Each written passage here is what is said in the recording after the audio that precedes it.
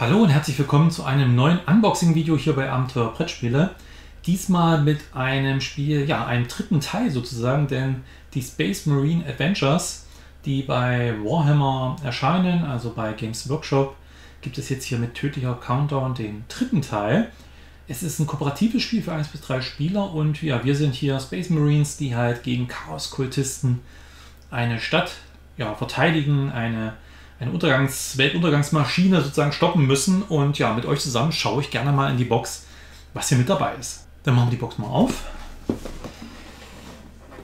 Und da gibt es ja schon mehrere Teile, wo wir halt immer Space Marines spielen, die halt äh, im Endeffekt gegen Orks oder gegen andere Bedrohungen des Imperiums kämpfen. Und ja, soll so ein bisschen heranführen an das Tabletop, denke ich mal. Hier sieht man auch Willkommen in die Welten von Warhammer.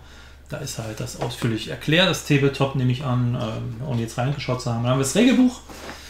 Ja, und das ist immer ganz gut gemacht, denn wir haben zum einen hier die Space Marines. Wir haben hier drei Miniaturen der Space Marines, die müssen ein bisschen zusammengebaut werden. Aber das ist ganz einfach. Und dann haben wir halt hier entsprechend sieben Chaos-Kultisten, die äh, ja, uns versuchen zu besiegen. Verschiedene Marker, Basissegmente, aus denen das Spielbrett besteht. Wir haben Würfel natürlich dabei. Und wir haben Karten. Das heißt, wir haben Datenkarten für unsere Space Marines und für die Gegner und wir haben Aktionskarten und Ausrüstungskarten. Ja, und dann wird hier das Spielbrett aufgebaut. Es liegen halt diese Karten aus, die Miniaturen werden platziert und dann spielt man halt ja, gemeinsam oder eben auch solo und versucht diese Chaos-Kultisten zu besiegen und entsprechend die Missionsziele zu erfüllen. Sieht man auch, wie man Spiel gewinnt, äh, wie viel Marines über, ähm, gewonnen haben, entsprechend dann auch, äh, wie, wie, wie, gut der Sieg war sozusagen. Ein Kampagnenspiel, wo man verschiedene Kampagnen spielt, was man natürlich durch diese variablen Aufbau, durch diese ähm, kleinen Plättchen auch ein bisschen Abwechslung bietet. Hier nochmal die bemalten Miniaturen, wenn man das natürlich selber malen möchte. Und dann hier der Zusammenbau erklärt, der ja bei dem Tabletop Hobby einfach ja nicht fehlen darf. Ja, und dann haben wir hier diverse äh, von diesen Aufbauplättchen für das Spielbrett.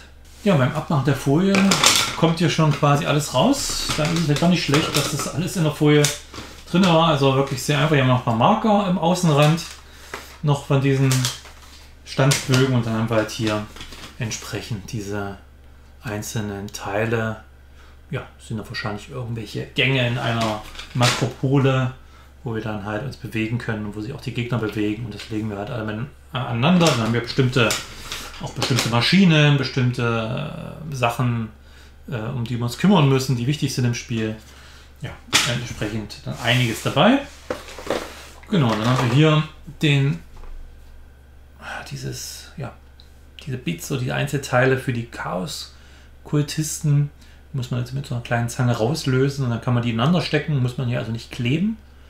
Kann man natürlich auch dann machen, um es noch sicherer zu machen, aber die sind mittlerweile auch hier äh, dann so, dass man sie wirklich zusammen stecken kann und dann entstehen dann halt die Figuren daraus. Das möchte man einfach so, dass die Leute halt auch daraus ein bisschen Lust, Lust kriegen und vielleicht auch ein bisschen ja, die Scheu verlieren vor diesen Miniaturen. Hier sieht man die Marines und auch die werden halt zusammengesteckt. Dann hat man seine drei Space Marines. Genau, das sind die Füße, die, die Bases, wo man dann halt die Figuren draufstellt, damit sie stehen bleiben. Hier haben wir die Würfel, drei normale 6er und einen 20-seitigen Würfel und ein ganz nettes Inlay, wo die Sachen reinkommen. Die Miniaturen natürlich vor allem. Und dann haben wir die Karten, die wir uns auch anschauen. Ja, dann schauen wir mal an. Dann haben wir hier wahrscheinlich diese Chaos-Kultisten-Aktionskarten. Und dann äh, machen die halt bestimmte Dinge. Jeder Chaos-Kultist führt zwei Bewegungsaktionen aus, wobei dann wahrscheinlich bestimmte Regeln gibt, dass man sich halt auf die Space Marines oder auf die Missionsziele zubewegt. Verdeckte, versteckte Sprengladung wirft für jeden überlebenden Space Marine je einen sechsjährigen Würfel. Bei einem Würfelergebnis von 1-2 wird jeder, jeder Space Marine verwundet. Hört sich auch recht hart an. Jeder Chaos-Kultist führt eine Attackenaktion aus. Okay, also es ist relativ easy, jetzt nichts wahnsinnig Komplexes, aber so werden dann halt die äh, sieben Chaos-Kultisten gesteuert. Und hier sieht man die nochmal. Die sind natürlich hier auch nochmal schön bemalt sozusagen äh, abgebildet, damit man auch sieht, okay, was könnte man denn machen, wenn man es vielleicht auch gut kann, das Malen. Und äh, da sieht man den Champion. Die haben halt bestimmte Sondermöglichkeiten und es gibt halt die vier von denen hier, Initiat, die halt keine Sonderfähigkeiten haben, sondern auch eine bestimmt einfach nur auf 5 plus Treffen wahrscheinlich da oben. Soll das das heißen? Ja, dann gibt es natürlich die drei Space Marines, die hier dabei sind. Bruder Sergeant Artellus, der hat halt da oben auch bestimmte Fähigkeiten, sind natürlich Ultramarines, Bruder Gallion und Bruder Caesarian, Caesarian und die haben halt bestimmte Fähigkeiten nochmal, ja, die dann zum Einsatz kommen, um diese Chaos-Kultisten zu besiegen. Und dann hatten wir, glaube ich, noch Ausrüstungskarten und die sehen auch ziemlich schick aus mit schicken Illustrationen. Zum Beispiel Räche die Gefallenen spielt diese Karte, nachdem ein Space Marine eine Bewegungsaktion oder Attackenaktion ausgeführt hat, wenn einer oder mehrere Space Marines getötet wurden. Wieder ein Segment, zu dem ein Space Marine Sichtlinie hat, wirft einen sechsjährigen Würfel für jeden Chaos-Kultisten auf jedem Segment. Bei einem Ergebnis von zwei oder mehr wird der jeweilige Chaos-Kultist getötet. Also mal, wenn doch ein Space Marines stirbt, hat man hier nochmal starke Gegenaktion. Mut und Ehre spielt diese Karte, nachdem ein Space Marine eine Bewegungsaktion oder Attackenaktion ausgeführt hat. Jeder überlebende Space Marine kann eine freie Attackenaktion ausführen.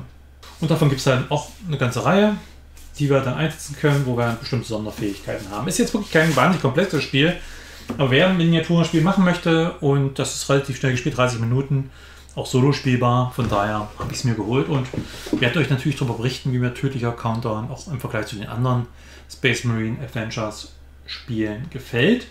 Hinterlasst gerne einen Kommentar, was ihr generell von so Spielen haltet, die so ein bisschen so den.